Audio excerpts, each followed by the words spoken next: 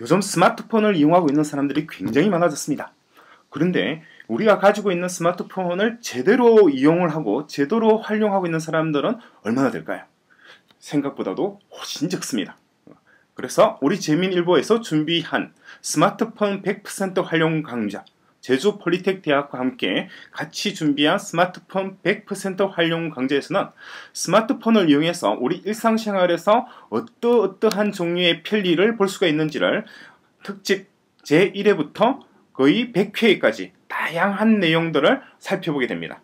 버스의 위치 보기, 택시 잡기, 식당 정보와 펜션 정보, 스마트 장보기, 박물관, 그리고 언론, 방송, 통신, 지갑, 명함, 그 외에도 다양한 약 100가지 종류의 어, 다양한 기능들을 이용해서 우리 생활에서 스마트폰이 어떠한 영향을 미치고 어떠한 사회적 혹은 업무나 혹은 생산성에 있어서 변화를 야기할 것인지를 살펴보는 시간을 가지게 됩니다.